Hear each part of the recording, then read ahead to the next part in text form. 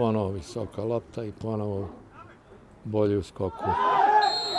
Evo penala, evo penala, rekao bih opravdano do suđenog.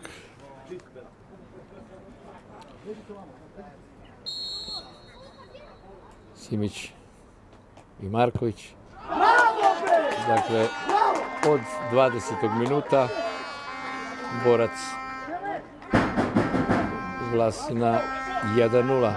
Strelac Nenad Simić. Najčešće u posljednjih minutama na polovini Vlasine, doduše nema ni futbolera Vlasina.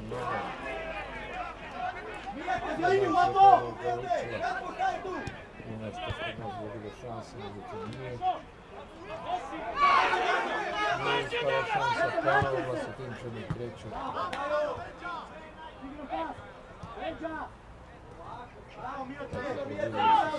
gosti, kao da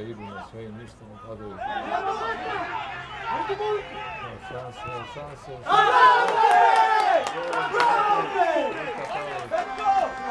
Ne, nije strelac. U momentima kad da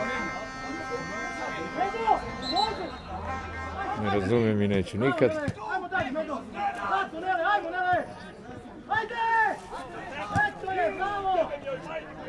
Da vidimo taj napad borca.